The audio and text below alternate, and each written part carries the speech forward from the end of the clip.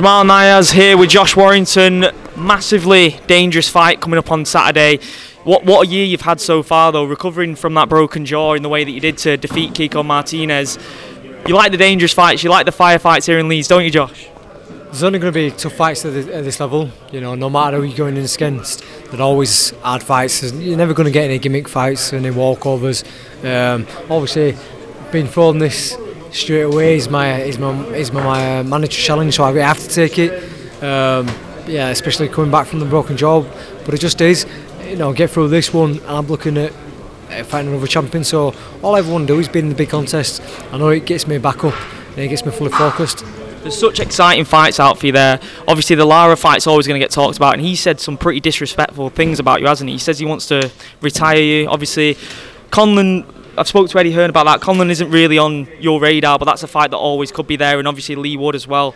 Um, unfinished business with Lara, and I know that you said a few months ago that you weren't very happy with how the DAZN documentary was presented. You you want that fight. You you weren't happy with the way how it ended last time, and you want fans to know that that's something that you still want. Yeah, most definitely. A lot of people said to me, "Oh, you don't need him as your boogeyman and stuff like that." Now, I feel like the, the, the way that the, the second fight we're going, we're all going in my hands. Yeah, an accidental clash of head happens. He can say whatever the fuck he wants. You know, they, he said I've disrespected his family and stuff like that. He's just, I don't know. He's fucking blowing smoke up his own backside trying to make something of a note.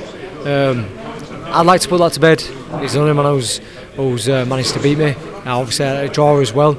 I just like to put it to bed, but he's not the only man. You know, there's I want I want to unify. I know there's Navarrete, there's Rey Vargas, there's Leo Santa Cruz still. So um, you know, there's loads of fights, but I've got to focus on Saturday and get that one. Obviously, America as well.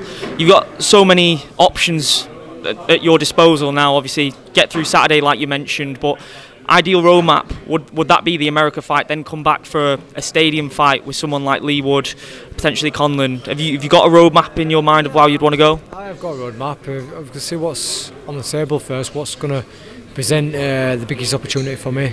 like I said, I'd love to go away. If I can get that ticked off, that'd be nice. So you win another belt, that'd be nice. Um, and then just take it from there. You know, opportunities ever come in this sport. Uh, things change constantly as well. So I've just got to keep my options open, but first and foremost, let's focus on Saturday.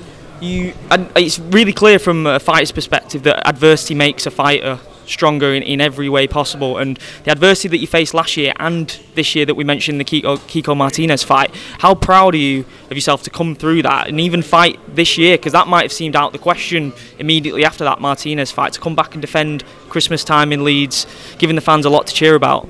Yeah, it's, it's part of the sport, isn't it? You know, some people think that you're finished after after one loss or an injury or whatever, but it's just part of parcel. You know, I've been in the sport a long time. Body's put my body through the mill a fair few number of years now, so things are going to happen. But um, like I say, it's how you bounce bounce back. And I tell you what, it, may, it a few more chapters to the book at the end. You like getting the Leeds boys involved in the entrance as well. Can you tell us what you've got planned for this Saturday? Yeah, I've got Crysencio Summerville um, joining me on the ring walk. He's a bit of a man of the moment at the minute for Leeds United. He's been on fire. Um, so yeah, I'm sure he'll. Uh, he's excited to be coming along, and I'm sure he'll uh, ramp up the atmosphere a little bit more once he sees his face on stage. Top man, Josh. I appreciate your time, man. Best of luck on Saturday. Thank you.